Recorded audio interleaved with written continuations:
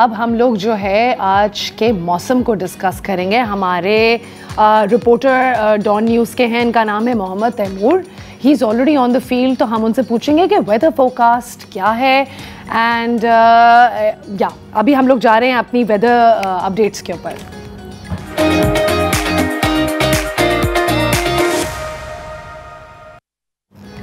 अलैक्म तैमूर, आपको हमारी आवाज़ आ रही है? आर यू देर जी बिल्कुल आवाज़ आ रही है। ज़बरदस्त।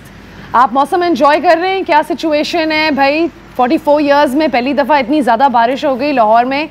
हमें ज़रा कुछ बताएँ सिचुएशन के बारे में।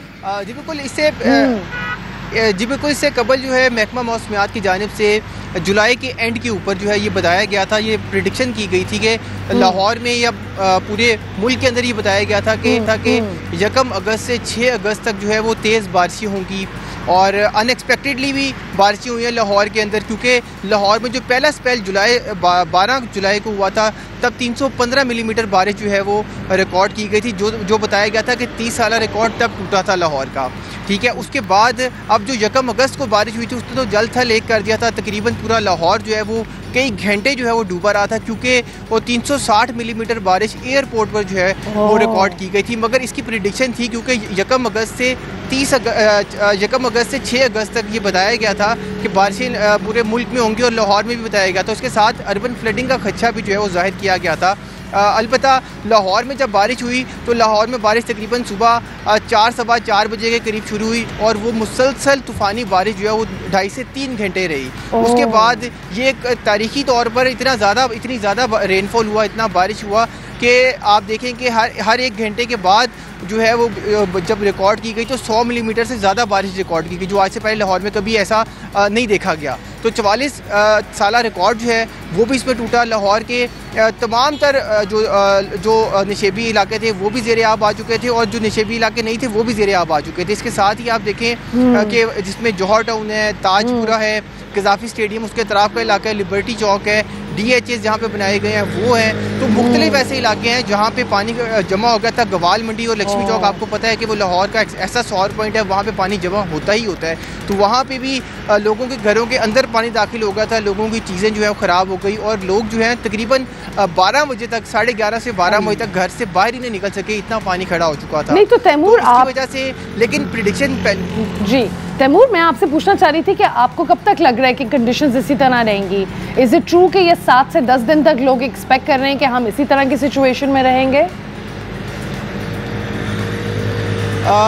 बेसिकली होता ही है कि मूनसून हम्म। जो है वो अनप्रिडिक्टेबल प्रिडिक्शन नहीं की जा। सकती। किसी भी वक्त हाँ जी किसी भी वक्त बारिश जो है वो शुरू हो सकती है। अब जब हम्म। बारह जुलाई को बारिश हुई तो वो मेट डिपार्टमेंट की जानब से बताया गया था कि शाम को बारिश शुरू होगी ऑलमोस्ट पाँच बजे या छः बजे। जी। मगर वो सुबह पाँच बजे छः बजे जो है बारिश का आगाज़ हो गया।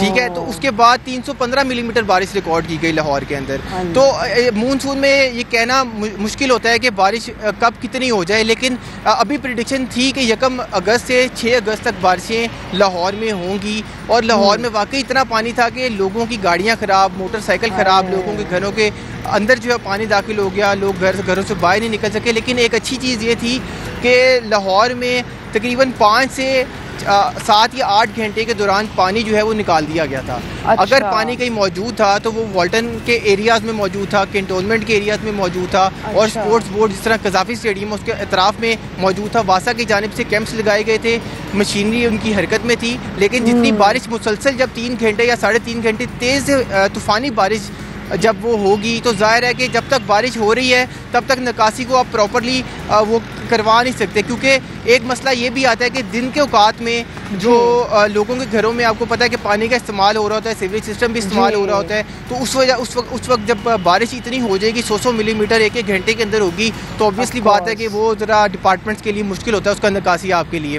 तो लेकिन अगर रात के वक्त हो जिस तरह ग्यारह बारह बजे के बाद अगर कोई स्पेल शुरू होता है इस तरह तो उसको आसानी होती है क्योंकि घरों में पानी इस्तेमाल उस वक्त नहीं हो रहा होता। हो रहा तो आसानी होती है कि बासानी या वो निकासी आप कर लेते हैं। और वासा को या मुख्तु डिपार्टमेंट जैसे पी डी एम है उनको ये पता होता है कि कौन कौन से शहर में शोर एरियाज़ हैं जहाँ पे अर्बन फ्लडिंग टाइप का कोई खदशा है या बारिश हो जाएगी तो वहाँ पे पानी ज़्यादा जमा हो जाएगा। लेकिन जो 360 मिलीमीटर जिस दिन बारिश हुई थी उस दिन तो मतलब कि बहुत ज़्यादा पानी था लाहौर के अंदर मतलब कि पार्क जो है अगले दिन तक भरे रहे थे फुल लाहौर के अंदर। और बहुत सी ऐसे खजाफी स्टेडियम के तरफ़ भी एक एक दो दो फुट पानी अगले दिन भी खड़ा रहा था। तो इस वजह से मुश्किल थी क्योंकि इतनी एक्सपेक्ट नहीं किया गया था कि इतनी मिलीमीटर बारिश. हो जाएगी। Okay thank you so much Taimur आपने हमें बहुत ही डिटेल में सब चीज़ें एक्सप्लेन कर दी। उम्मीद है जो लोग देख रहे होंगे उनको भी ज़रूर गाइडेंस मिली होगी। Thank you so much for your time thank you so much for your updates